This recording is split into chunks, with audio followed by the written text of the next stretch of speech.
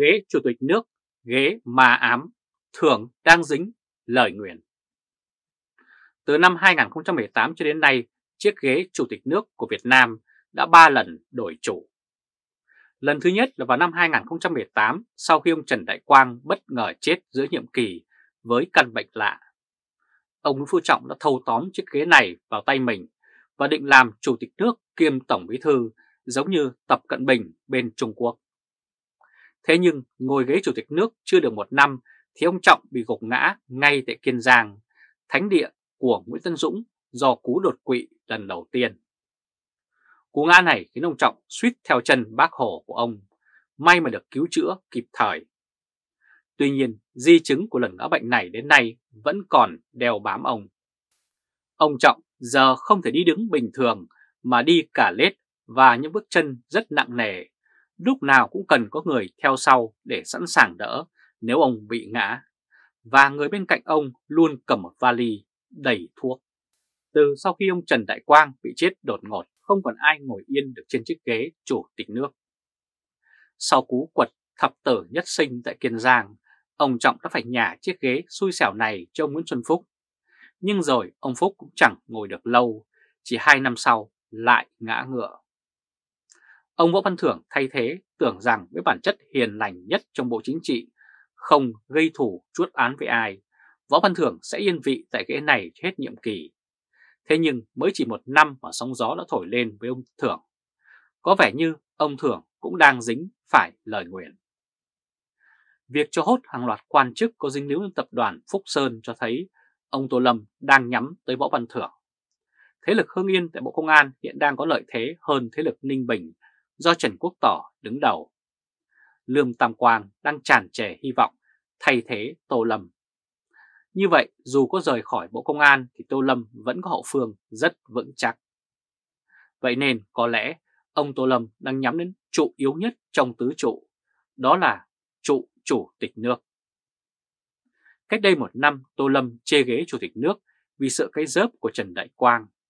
Tuy nhiên, tình thế giờ đã khác, thế lực Hưng Yên đã tự tin thao túng được toàn bộ Bộ Công an, nên Tô Lâm có thể an tâm rời ghế Bộ trưởng để tính toán con đường leo cao hơn. Ông Võ Văn Thưởng và Tô Lâm đều là cánh tay của Nguyễn Phú Trọng, tuy thờ một chủ nhưng vì lợi ích riêng họ sẵn sàng kịch chiến. Ông Tô Lâm đang tìm những chứng cứ mà ông Thưởng không thể chối cãi thông qua những vụ án của đàn em ông Thưởng để buộc Bộ Chính trị phải loại thưởng. Vì vậy, số phận của Võ Văn Thưởng đang rất mong manh. May ra chỉ có ông Trọng mới có thể cứu được ông Thưởng. Còn nếu ông Trọng mà gật đầu cho thay thưởng, thì xem như Võ Văn Thưởng sẽ ngã ngựa, giống như Nguyễn Xuân Phúc vậy.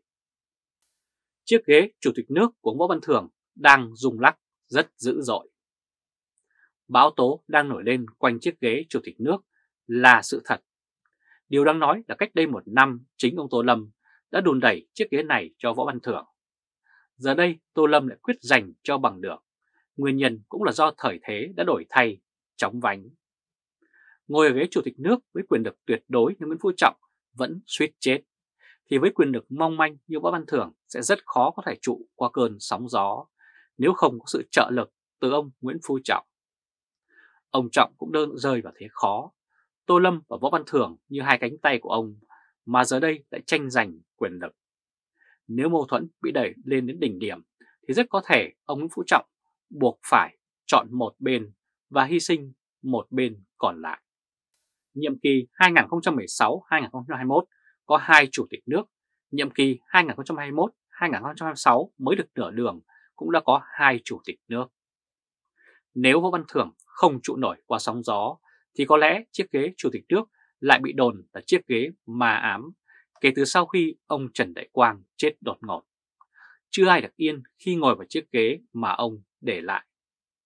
Tuy nhiên, ghế chủ tịch nước là hữu danh vô thực, nhưng nó vẫn thuộc hàng tứ trụ, mà chỉ có vào được tứ trụ thì mới có cơ hội được hưởng suất đặc biệt dành cho Ủy viên Bộ Chính trị trên 65 tuổi, mới có cơ hội tiếp tục với giấc mơ quyền lực.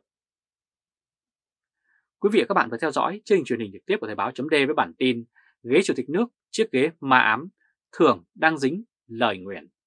Quý vị và các bạn chia sẻ video này cho nhiều người biết và bấm nút theo dõi YouTube và Facebook của Thời báo.de để luôn được cập nhật những bản tin mới nhất, nhanh nhất và trung thực nhất. Từ Berlin, Cộng hòa Liên bang Đức chào các bạn và hẹn gặp lại các bạn ở bản tin lần tới. Trung Khoa, Thời báo.de. Chặn được Trần Quốc Tỏ, Tô Đại an tâm đốn trụ thưởng. Cái kết của Trần Đại Quang là một bài học có giá trị cho Tô Lâm. Làm Bộ trưởng Bộ Công an là phải ác, thậm chí ác đến tột cùng. Lợi thế khi làm Bộ trưởng Bộ Công an là trở thành Ủy viên Bộ Chính trị, được quyền hành động không theo luật pháp với nhân dân và cả với các đồng chí của mình. Có điều, một khi làm trái luật, họ phải biết ném đá, giấu tay. Ác với dân thì không sợ bị trả thù, nhưng ác với đồng chí, nhất là với các đồng chí chóp bu, thì rất dễ bị trả thù khi quyền lực không còn. Trần Đại Quang khi nắm ghế Bộ trưởng Bộ Công an đã gây ra quá nhiều ân oán với các đồng chí, nên khi ra khỏi tổ kén của Bộ Công an, ông đã bị hạ một cách bi thảm. Dù lúc đó ông vẫn còn quyền lực, tuy nhiên quyền lực của ghế Chủ tịch nước không đủ để bảo vệ ông. Ông Lương Tam Quang, đồng hương hưng yên của Tô Lâm là ứng viên sáng giá cho ghế Bộ trưởng Bộ Công an. Sai lầm của Trần Đại Quang khi rời ghế Bộ Công an vào năm 2015 là đã không xây dựng vây cánh đủ mạnh để thay ông nắm giữ bộ này. Đặc biệt là việc đưa em trai Trần Quốc Tỏ rời Bộ Công an cũng vào năm 2015 để làm bí thư tỉnh ủy Thái Nguyên là một sai lầm rất lớn. Thế lực Ninh Bình tại Bộ Công an đã bị chống sau khi ông Trần Đại Quang rời đi. Lợi dụng cơ hội này, Tô Lâm đã ngồi lên và gây dựng thế lực hưng yên tại Bộ Công an. Khi ông Trần Đại Quang làm Bộ trưởng đã xảy ra đại án Mobifone AVG. Lúc đó, ông Tô Lâm là Thứ trưởng Thường trực Bộ Công an đã dính líu đến vụ án rất lớn này. Nếu Trần Quốc Tỏ còn ở Bộ Công an, ông Trần Đại Quang hoàn toàn có thể lợi dụng cơ hội này để mà hạ bệ Tô Lâm và đưa Trần Quốc Tỏ lên thay. Tuy nhiên, do Trần Quốc Tỏ đã rời Bộ Công an nên ông Quang không đẩy em mình lên tiếp được. Thực tế, ông Tỏ cũng không tự đứng được ở môi trường bên ngoài Bộ Công an, nên năm 2021 đã phải quay trở lại bộ này. Lúc này, ông Trần Đại Quang đã chết và Bộ Công an đã bị ông Tô Lâm thống trị. Thế lực Hưng Yên đã trở nên hùng mạnh nơi đây. Hiện nay có 3 ứng viên cho ghế Bộ trưởng Bộ Công an, đó là Trần Quốc Tỏ, Ủy viên Trung Đảng, Thượng tướng, Thứ trưởng Thường trực. Lương Tam Quang, Ủy viên Trung ương Đảng, Thượng tướng, Thứ trưởng và Nguyễn Duy Ngọc, Ủy viên Trung ương Đảng, Thượng tướng, Thứ trưởng. Theo giới thạo tin đánh giá, Trần Quốc Tỏ là Thứ trưởng Thường trực, nhưng ông đang yếu thế hơn ông Lương Tam Quang. Và ngay cả với ông Nguyễn Duy Ngọc cũng vậy. Bởi cả hai ông này đều đang được Tô Lâm nâng đỡ và có thế lực hưng yên đằng sau. Nguyễn Duy Ngọc cũng là đồng hương hưng yên của Tô Lâm, là phương án 2 cho ghế Bộ trưởng Bộ Công an. Hiện nay, Tô Lâm đang đánh mạnh vào những người liên quan đến ông Chủ tịch nước Võ Văn Thưởng, trong đó có việc bắt Đặng Trung Hoành, tránh văn phòng huyện ủy huyện Măng Thít, tỉnh Vĩnh Long.